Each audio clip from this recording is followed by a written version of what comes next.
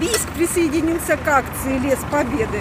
А В акции приняли участие по традиции работники администрации, представители Думы, а также все желающие представители общественности. А сейчас как раз мы посмотрим, как это все происходит. Высаживать сегодня будут спирею и пирамидальные тополя. Специально для этого выделили участок на третьей очереди бульвара Петра Первого. Как раз здесь он не засаженный. И сейчас уже вот акция идет полным ходом. Посмотрим.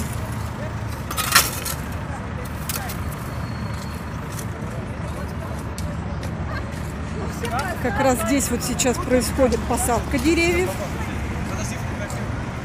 Посадка деревьев. Я не фотографирую. Расскажите, как у вас настроение? Отлично, отлично. Настрой боевой, садим деревья.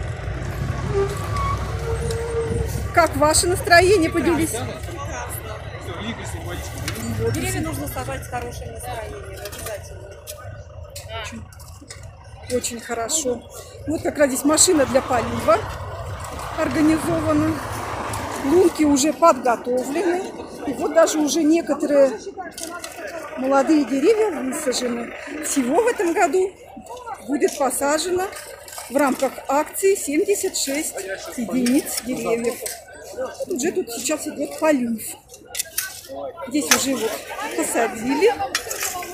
Очень активно все происходит. Примерно 100 человек принимают участие в этой акции. Как раз, как раз мы сейчас видим председа- председателя комитета по социальной политике Алтайского краевого законодательного собрания Татьяну Викторовну Ильюченко. И мы сейчас поинтересуемся, как у нее идут дела. Татьяна Викторовна, расскажите, пожалуйста, как сейчас все происходит, что значит эта акция. А сегодня мы принимаем участие в акции «Лес Победы». А, Принимаем участие. Победа – праздник общий для всех, для всех э, конфессий, для всех политических партий. Сегодня мы совместно с коллегами из Думы, э, из Думы а, посадили, с ребятишками посадили этот тополь, и я уверена, пирамидальный тополь. Я уверена, что он примется, и будем следить за ними. Вообще замечательно. Петь победы, садить новые деревья. Новое дерево – это новая жизнь. Нам наши ветераны дали право жить на этой земле. И я думаю, что это хороший повод почтить память наших ветеранов и посадить дерево. Спасибо. А мы пойдем дальше, посмотрим, как все происходит.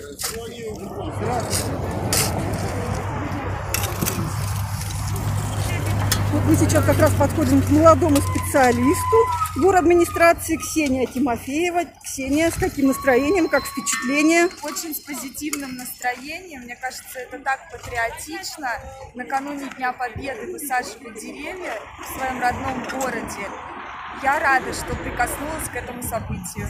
А мы рады, что вы рады. Спасибо.